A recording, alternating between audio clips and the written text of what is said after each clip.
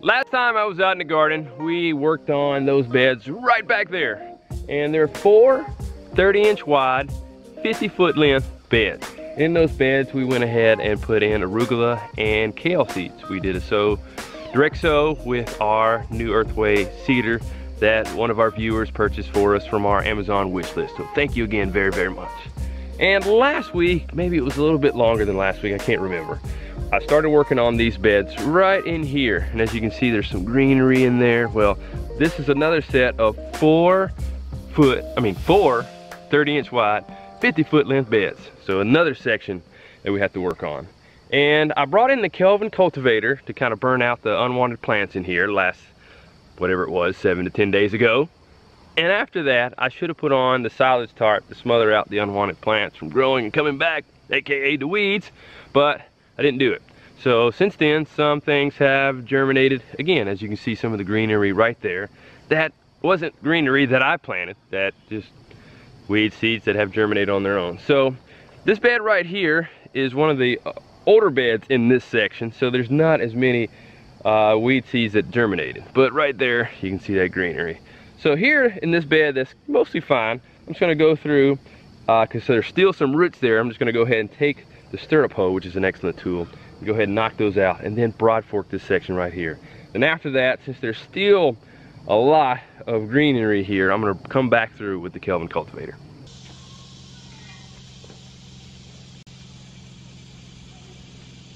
I brought both of these broad forks down to use because each of them have their own set of benefits. I really like the construction of this Forward Farm Tech broad fork. However, it doesn't work quite as well in the heavy clay. And here's the Treadlite broad fork that has the, these blades work really, really well for, for getting into the clay and working into the clay. So I've talked to the guys at Forward Farm Tech, so hopefully he's gonna, he's gonna plan to release some new line of broad forks and maybe they'll have some some uh, different variations to them, maybe have some some tines just like these because uh, they work really well. So if I could combine the two broad forks, it'd be like the ultimate broad fork.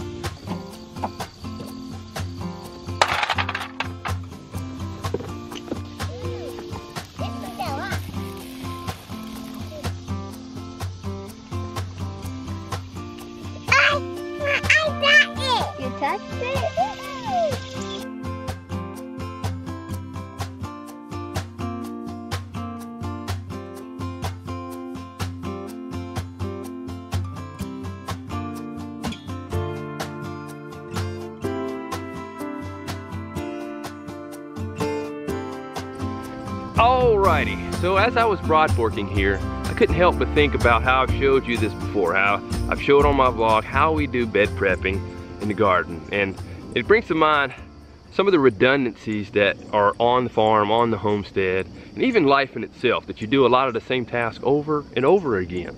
And uh, sometimes we can get bored and complacent with those things, especially if we didn't choose our career, what we're gonna do wisely. Uh, I like a quote from Tai Lopez, it's just two words, choose wisely. And that's extremely important. When we're younger, we, we thrive on adventure, we thrive on something new, and we thrive on the constant change of the adventure. Uh, but after a point, we get to where we, we settle. Sometimes we don't choose wisely and we end up settling a career that we, we don't like and as a result of that we could be we could be bored and and just kind of be depressed on where we are. And uh, I was I was like that to a degree.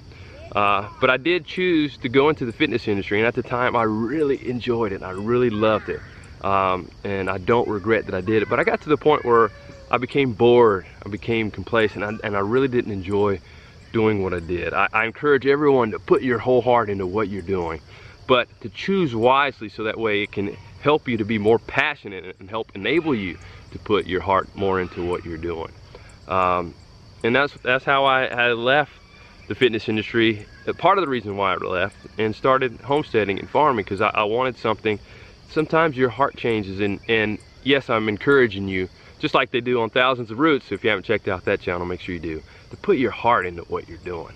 Uh, and then if you got to the point where you feel like it's just a struggle for you to do that, maybe that's the time to make some type of change in your life and figure out a way you can make that happen. Sometimes it's a longer process than others, but find a way to make that happen.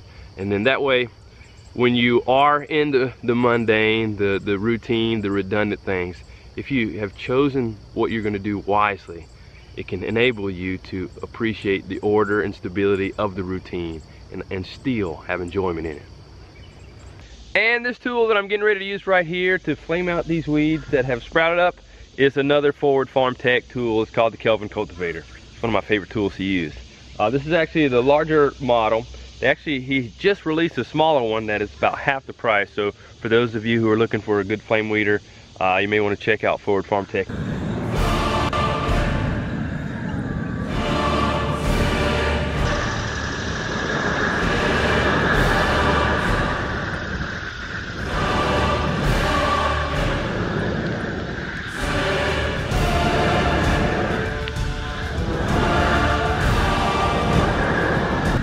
Doing with the flaming here is just going over the plant and just kind of passing the heat over it. And the heat actually causes the plant to start to wilt and it, start, it destroys and dehydrates the plant from destroying the cell wall and breaking it up.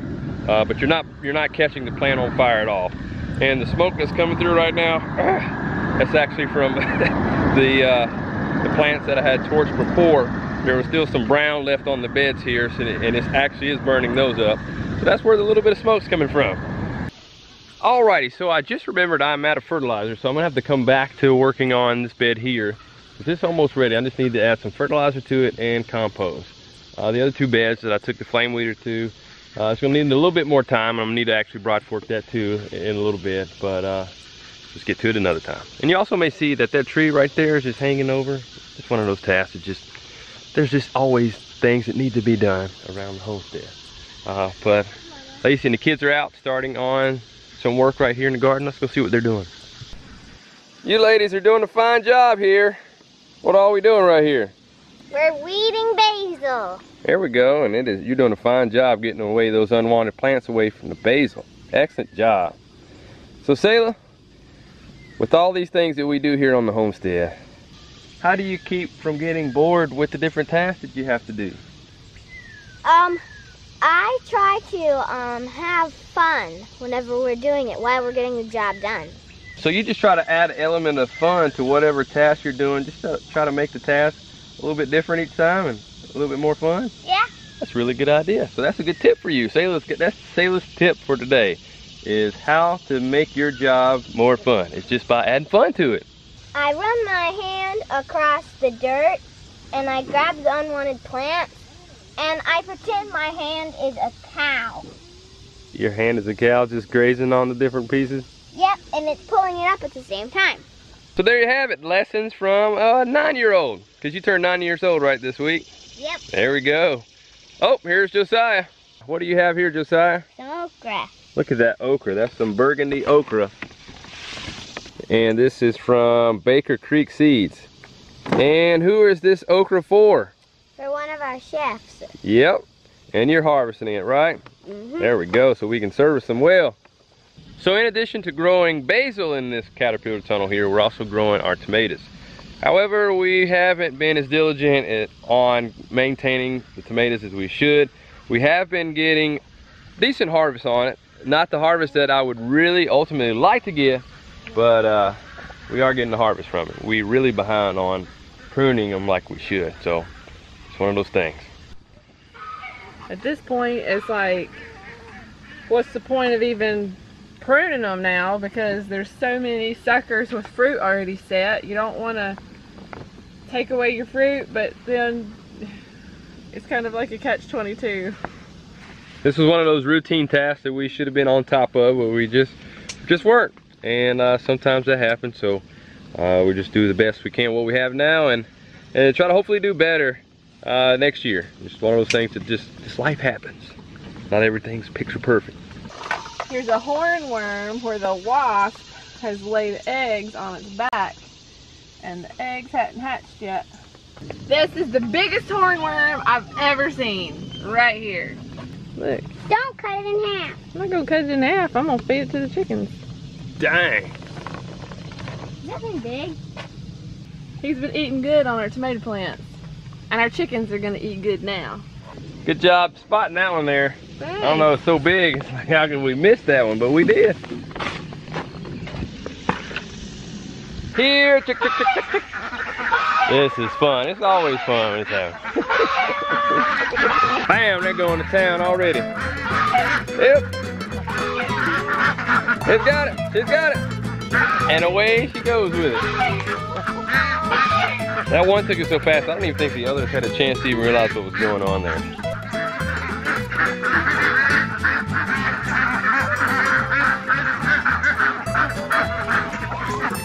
that one right there, that's the one that has it.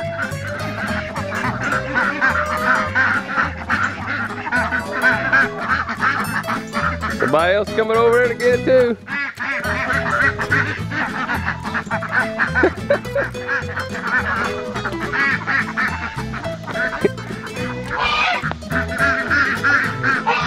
Oh, production got a snatch part of it. Having fun. Yeah.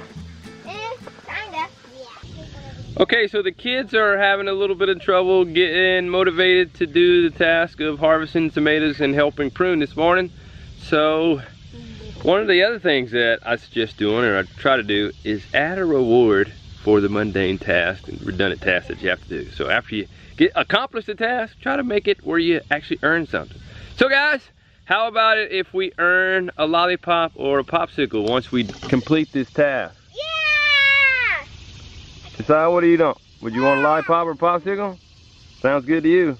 Mm-hmm. All right, let's make it happen. I'm Lacie, if you're okay with continuing to prune, Josiah and I will gather up what you prune and transport them. And Selah and Micah will harvest the tomatoes. Sound good? Yep. Good.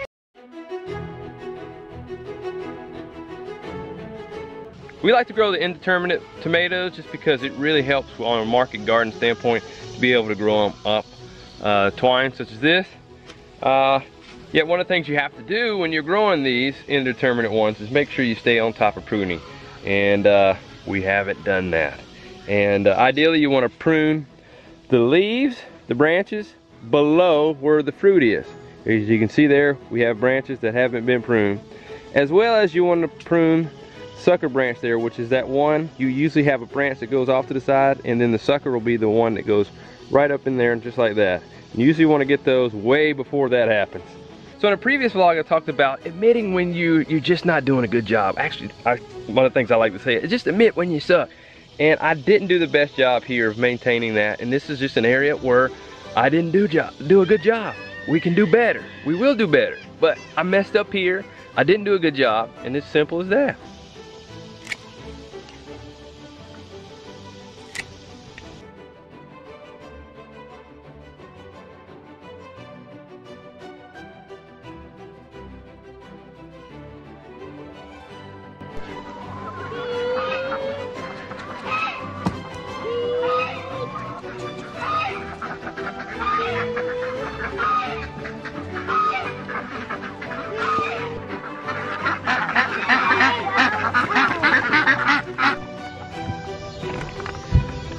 Alrighty, the tomatoes that Lacie and Selah harvested earlier are gonna go to our customers. But just a few moments ago, Lacie did some harvesting in her medicinal garden. She actually has some tomatoes growing in there, and she's gonna be making something pretty delicious for us for dinner. I don't know what it is yet, so I'm gonna be finding out at the same time you are.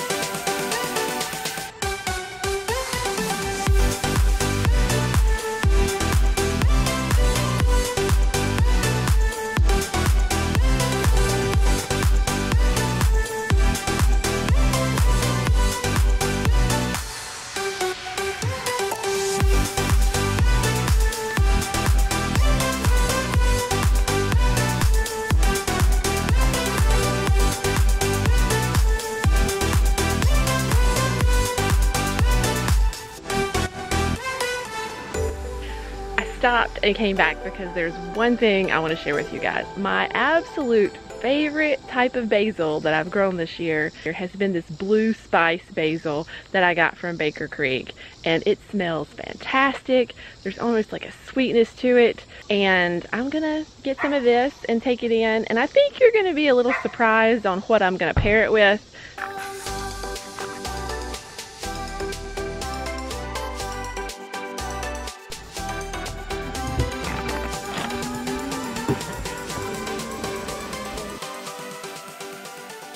So what are we gonna have for dinner tonight?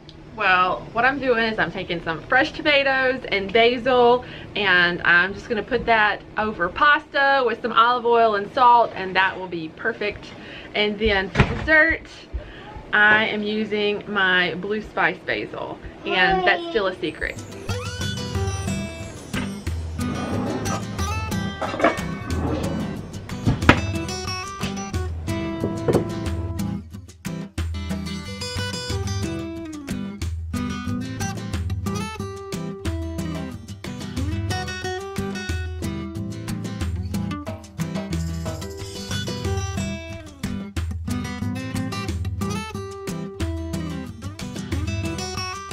So what's the first thing you're doing here? I'm just having up these little tomatoes. So this year in our garden, both gardens, we're growing a variety of cherry tomatoes. So here, Lacie has a mixture of just different yellow ones and orange ones and some red ones. And I cannot remember the different names for the different ones, but they're all Baker Creek seeds. So continuing on with the theme of redundancy and, and boredom, how do you, on a daily basis, continue to do what you do and making food for us? How do you keep it from getting mundane and, and, and boring and how do you keep going and keep doing it? Because you do a great job. Well, sometimes it is boring, to be totally honest. But everybody's got to eat, so you just got to keep going. But one thing is, you know, having a farm and eating with the seasons, you can always like pull in different stuff into your meals. And this time of year, it happens to be basil and tomatoes. And so that's what we're adding to our meal tonight. So for the most part, here in our family and on our farm, we mostly have traditional roles. I do mainly, I'm the main provider of the household as far as providing the monetary needs and things like that. And for the most part, Lacie is the one that provides all the meals and puts them together with things that I work outside to grow. So for those people who are out there who have to cook and do these things on a daily basis, what encouragement would you say that you have for them? Try new things. Don't be afraid to try new things.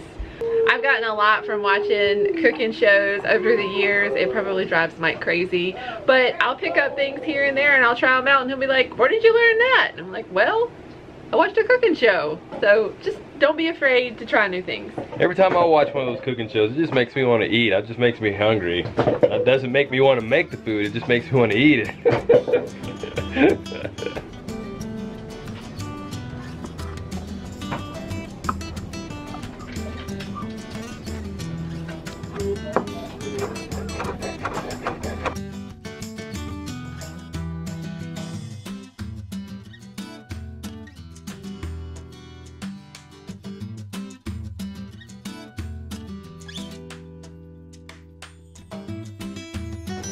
I don't know if there's anything better than that.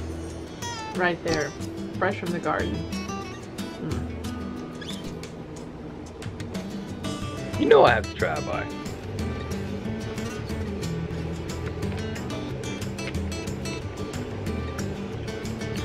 I wish there was Taste Division where you could taste this. It's pretty good. So what is the finished product? What do we have for the spread here for dinner? Well, we have pasta with tomatoes with basil, olive oil, and salt, and that's all that is. Then we have leftover turkey, I just heated up a little bit of. And then for dessert, I went ahead and put some on Micah's plate. It is a canary melon with blue spice basil and just a little bit of salt to bring out the flavor. So a little bit different than we normally have. So a little bit of uh, some seasonal garden produce for dinner. Mm -hmm. So this meal is definitely far from boring with a number of seasonal items from the garden. And it looks yummy. I look forward to trying it. And talk, thinking about things being boring. Hey guys, remember that one day? It wasn't too boring when we made the slip and slide? Oh, that was cool. yeah, I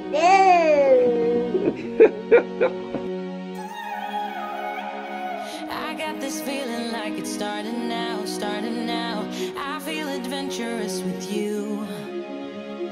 And there is nothing that can hold us back, hold us back.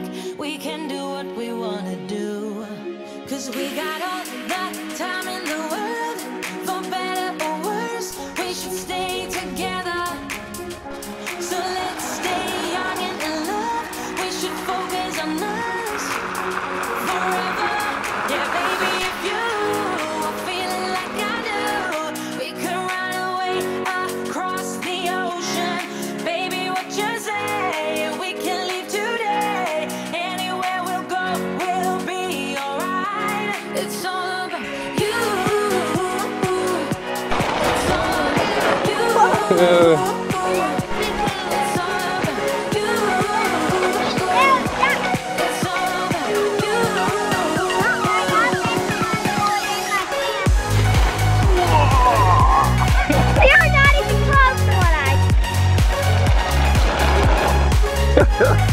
That was kind of cool.